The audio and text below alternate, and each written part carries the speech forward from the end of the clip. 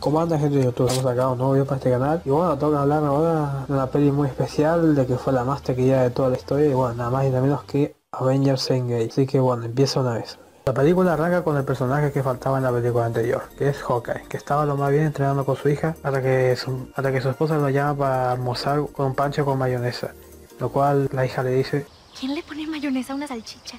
No sé, creo que todo el mundo. Bueno, la felicidad se termina porque en otro lado del mundo pasa para Hawkeye el chasquido no fue al azar porque le hizo desaparecer a toda su familia y se quedó él solito y solo. Por otro lado, en el espacio, Tony Stark estaba junto con Nebula en la nave de los Guardianes de la Galaxia, arreglando un poco después de la batalla con Thanos y consiguieron solo 48 horas de vuelo y están varados en el espacio. Parecía que todo se acababa para Iron Man hasta que apareció un milagro. Aparece una luz amarilla que no es nada más y nada menos que la capitana Saiyajin que lo trae de vuelta a la Tierra y ahí están esperando todos los Avengers que han sobrevivido al chasquido. Ah, y el Capi se ha afeitado su barba. Y bueno, ven en las pantallas que sí, Thanos ha eliminado a todos la mitad de, los seres vivos que existían. No puede estar Thanos y nadie sabe. Iron está un poco enojado con Capi por lo de Civil War. Después pasa que, bueno, Nebula sabe dónde está Thanos, la Capitana Marvel quiere ir sola, pero bueno, dice Nebula que vayan todos. Y ahí todos se preparan para ir.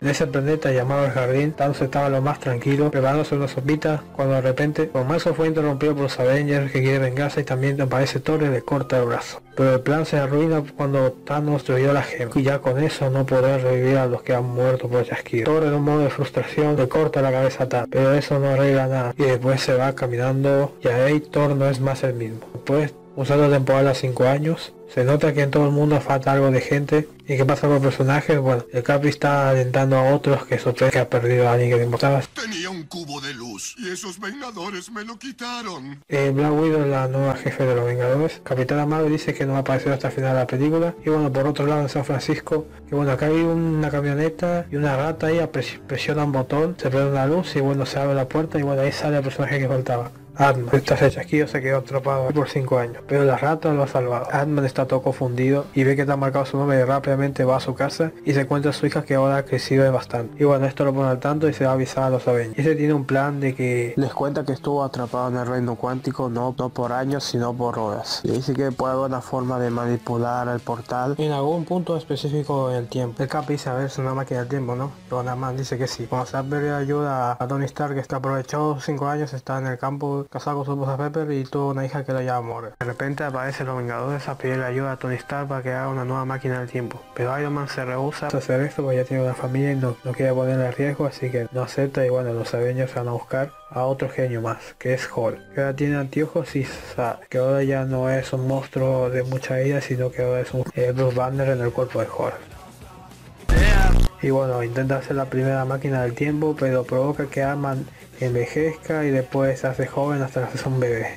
Después la normalidad, así que esta primera prueba fue un fracaso menospreciando la inteligencia de Hulk. Lo que el genio acá es Iron Man, que en una noche logró resolver el problema del portal de viaje en el tiempo. Y bueno, tras eso llega a Thanos Avengers, se encuentra con el le devuelve su escudo, se hizo un GPS de tiempo-espacio para que no le pase lo mismo que Ant-Man y bueno, se va a unir a la misión. Por otro lado, Hulk y Rocket va a buscar a Thor en el nuevo Asgard. Y bueno, lo encuentran, pero Thor estaba re deprimido que hasta aumentó de peso. Ah, y están sus dos amigos de Thor Ragnarok que acá hace publicidad a Fortnite. Bueno, Thor se hace gracioso, pero cuando Hulk le dice que puede regalar lo que hizo Thanos, al escucharse el nombre Thanos, se, todo se pone re triste. Pero Hulk logra convencer a Thor a que se una y bueno, y bueno se une. Y bueno, por otro lado, Black Widow fue a buscar a Hawkeye, que primero Hawkeye estaba en México matando a los narcos y ahora está en, Japón matando todas las cosas. Bueno, el primero no quiere unirse a la misión porque bueno, no, no queda la esperanza, pero bueno, lo convence y ya está. Todos reunidos, bueno, se van a, a planear cómo obtener las gemas en distintos lugares a través del tiempo y en distintas épocas de todo lo que vimos en el universo de Marvel, obviamente. Y acá menciona mejor que el tiempo funciona de distinta manera y que no va a alterar nada del futuro. Se quedan eh, muchas líneas alternas donde ocurre de distintas maneras. Similar a todo, se mete en la máquina y bueno, se va. Cada uno de los años se va por distintos años. Y bueno, Iron Man, Capitán América, Ant-Man y Hulk van a buscar las tres gemas que estaban ahí en Nueva York en 2012. Hulk se va a buscar la gema tiempo, la gema verde que estaba en la casa de Otto Strange, que bueno, ahí todavía no existía Otto Strange, sino la ancestral o la anciana. Hulk va por la gema, pero la ancestral lo detiene con su saca almas. Después de un rato Bruce convence a la ancestral de dar la gema con tal de regresarla de vuelta después de usarlas. Y ahí dice que no, pero Bruce le dice que Strange en su tiempo le había dado la gema. Y esta bueno le hace caso y se da la gema a Bruce Banner. Y bueno, acá empieza a buscar el centro Loki que tenía en los malos de Capitán América 2, que bueno acá eran los buenos todavía. Y bueno, se mete el ascensor pensando que por ahí había otra pelea. Pero este ya sabe todo y bueno le tira la posta. Los malos le creen y bueno le dan el bastón. El Capi se va re tranquilo pero justo se encuentra con su versión de 2012. Y pelean.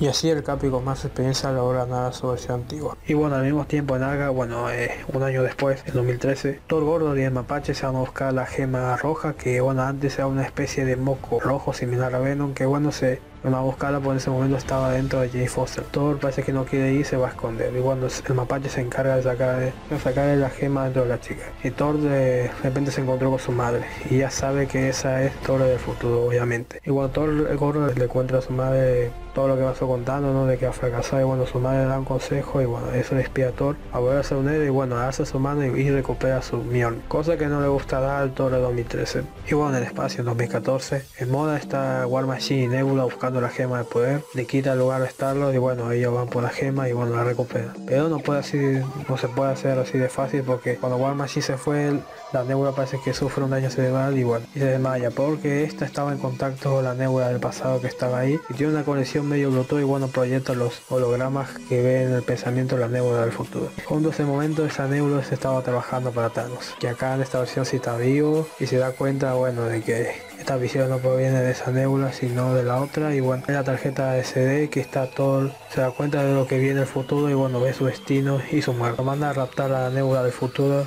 y bueno, dándole a la nebula del pasado, así infiltrándose para que esta vaya al futuro y le da unas partículas final a su padre Thanos para que haga más y que él vaya también al futuro. Por otro lado, también en 2014 en Borneo, Black Widow y Hawkeye va por la gema del alma y juntos se encuentra con Cráneo Rojo le explica la regla esta de que hay que matar un ser querido para tener la gema del alma y bueno, y bueno estos saben quién se va a tirar para conseguir la gema y bueno se despide pero empiezan a pelear ya que ambos quieren tirarse para, tener la gema para salvar a los, demás no pero la lo detiene y bueno ella se va a sacrificar y lo hace. Y así la primera heroína la waifu de muchos fanboys muere. Y bueno así Hawkeye consiguió la gema del así volvemos en 2012 en Nueva York. Tony Atma estaba buscando el tercer acto que tiene ahí la gema del espacio. Ama se le mete en el atorac de Tony provocándole una riña cardíaca y bueno, y solda maletín y, el, y el rayo maposta se la lleva, pero es empujado por Hulk, haciendo que el tercer acto caiga en manos de Loki y bueno, se lo lleva, creando así una nueva línea temporal. Pero bueno, después cuando aparece el Capit, eh, Tony tiene una idea, que es viajar a 1970 para buscar el tercer acto que está ahí y también más partículas Pink que es en Nueva Jersey en las viejas instalaciones de Shield. Que aparte está allí, bueno, ahí estaba Happy el rejuvenecido por computadora, el Capi roba más partículas Speed y mientras Tony Stark va a sacar el tercer acto. Y justo ahí se encontró con su padre y el Cap se encuentra con, encuentra con el amor su vida Pericarp. Pero bueno, después vuelven de vuelta al futuro. No, ya todos consiguieron las gemas restantes y cuando regresan a la base, todos están felices de conseguirlo, todos están felices de conseguir la gema, pero bueno, ahí que está todo entristecido y todos se dan cuenta de que Natasha no sobrevivió. Y todos quedan re tristes. Bueno, para hacer que el sacrificio valga la pena, Tony se hace su propio guantelete infinito a los Iron y bueno ahí coloca las gemas y bueno falta decidir quién va a tronar los dedos quiere hacerlo pero además dice que no porque no está en condiciones no es por seguro solo porque solo porque la energía de las gemas emite radiación gamma y que tiene radiación gamma yo digo Hall así que bueno Hall se decide ponerse el guantelete y bueno Hall se pone el guante pero este es más débil que el, que el guantelete de Infinity War porque esto emite demasiada energía que le hace dañar demasiado el brazo de Hall y con sus últimas con su última voluntad de ese brazo bueno logra chasquear los dedos. No, tras ese llamado nos damos cuenta de que la mitad del universo ha vuelto a aparecer. Luego la alegría no duda mucho ya que justo aparece una gigante igual. Que va a hacer presencia Thanos a la Tierra, le dice a Nebula que vaya a buscar las gemas y bueno justo el guantelete estaba al lado de Hawkeye que sobrevivió también. Lo tiene que huir de inmediato porque aparecen unos perros alienígenas. Se libra de los aliens y le pasa justo el guantelete a Nebula, pero esa es la otra Nebula. Esta la iba a matar, pero justo aparece Gamora y la Nebula buena. Que dice que esta puede cambiar, pero esta no hace caso y va a matar a Gamora, pero la Nebula buena le mata. Así, liberándose esta de su pasado. Por otro lado, Iron Man, Capitán América y Thor se preparan para brillar contra Thanos en la primera batalla final de la película. Y bueno, los tres principales héroes de Marvel se enfrentarán a Thanos. La pelea bastante genial, Thor le da mucha energía, se le tira eh, bastante rayos, pero justo Thanos con su espada hace una especie de ventilador que bueno, lo esquivarlo y bueno, lo pone a dormir El Capi lo quiere golpear, pero bueno, Thanos lo empuja. Thor le quiere volver a cortar la cabeza con el hacha, pero no puede. Este Thanos es más habilidoso. Lo desarma y le, quiere insertar otra vez el, hacha en el pecho como lo hizo Thor en el futuro a Thanos, pero ese le da tiempo para que alguien más tome el Mjolnir. Es nada más y nada menos que el Capitán América.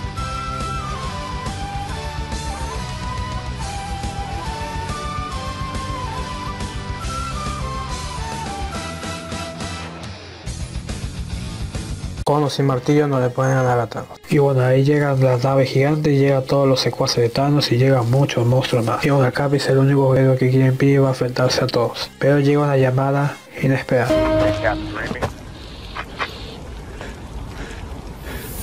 On your left. Sí compañeros, otro Stereo vivió y trajo refuerzos, pero refuerzos en serio, trajo a todos los superhéroes que conocemos, a todos y a todos, todos, todos los personajitos, incluyendo más naves, más tropas y todo eso. Así ya aparece más gigante, así antes Hall y bueno, estaban atrapados, pero bueno, ya lo sacarlos. Y bueno, todos se preparan para pelear. En la pelea más épica, más genial y más espectacular de todos los tiempos del género de superhéroes.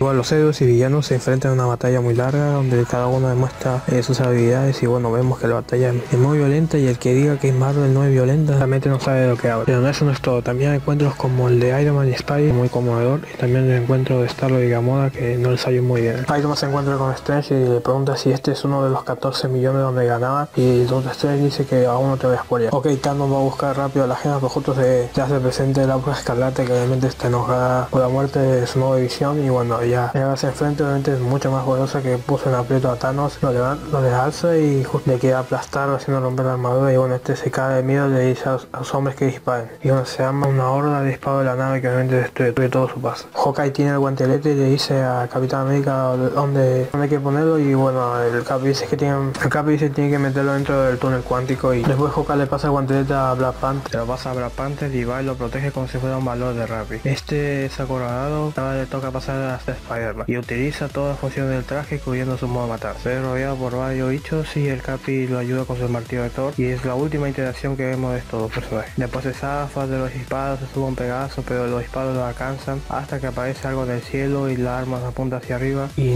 nada, no es nada más y nada menos que la Capitana Marvel con un nuevo peinado y destruye todas las naves de Thanos que la verdad sí me gusta como luce el personaje. Y ok, Spidey la ve, le pasa el guantelete a ella. La capitana ahora tiene el guantelete y va acompañada de las poderosas de Marvel. Pues la va abriendo paso para que vaya la capitana hacia el portal, pero justo Thanos destruye la máquina y bueno, explota todo. Thanos va rápido el guantelete, pero Iron Man lo quiere impedir, pero bueno, lo saca a un lado. Se los pone ya para de inmediato, pero la Capitana Marvel aparece, lo retiene un poco y parecía que casi ganaba porque es invencible está, pero rápidamente Thanos agarra a la gema que conoce que es la Violeta y bueno, le pega y la saca esta de la película. Toca el turno de Thor y el Capitán América, pero ni lo logra detenerlo y bueno, lo golpea los dos. Y ocurre lo imaginable.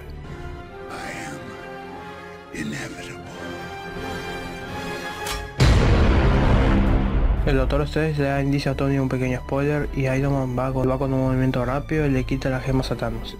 Y se lo coloca a su propio guante que se había hecho y chajea los dedos y así los Avengers ganan.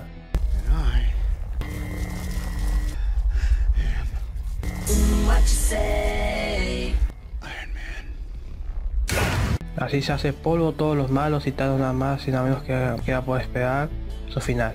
Y ahí va, va, Listo, se fue. Pero ese chasquido le llenó demasiada radiación mortal a Iron Man. Y bueno, ya su último se despide de su amigo eh, Rhodey, eh, de Peter Parker. Y así lo considero como un hijo, al, menos esta, esta saga. Y a su esposa Pepper, que siempre estuvieron juntos, al lado, las buenas de las malas. Y bueno, así el invencible Iron Man se muere. Todos entristecidos se ponen en rodillas en memoria a su compañero caído. Y bueno, la cosa termina con un montaje de, todos felices, recontentos, encontrarse con sus amigos y con sus queridos, volviendo todos a su vida normal. Con la voz en off de, Tony Stark que había grabado un mensaje antes de ir, a la misión. Después sucede el funeral de Iron Man, una parte de Hawkeye eh, recordando a, a Black Widow y a Visión, un Thor nombrando a Valkyria como la nueva reina de Asgard y él se va a divertirse un rato con los guardianes de la galaxia, para hacer más chistes y esas cosas. Pero aún falta devolver las gemas, a su punto de origen del tiempo y bueno, esta misión va sobre el Capitán América. Bueno, acá pasa algo extraño, se despide también de, su amigo Falco y también de su amigo Bucky, se va al portal, pasa el contador y no vuelve, pero sí vuelve, pero muy envejecido. Y al parecer parece que quedó viviendo en el pasado eh, con su novia Peggy y bueno, ahí vivió feliz y hizo una vida ahí. Pero al hacer eso, bueno, se quedó otra línea temporal y bueno, hay mucho hueco argumental. Meta Senil le entrega el escudo al Falcon y ahora este se da el nuevo Capitán América. Y bueno, todo termina con el lindo baile de Steve Rogers. Y bueno, así termina de una vez la saga de infinito. No pasa otra nueva, pero por ahora hay que esperar un Y bueno gente, esta fue la película más taquillada de la historia, superando a Avatar, bueno, Avengers Endgame. Si te ha gustado este video, pues dale un me gusta, la compartida, eh, suscribirte, decirme en los comentarios que de otra película que, que hable, no sé. Y bueno, yo acá me despido, yo soy José Ultime y bueno, nos vemos en un próximo video. Chao.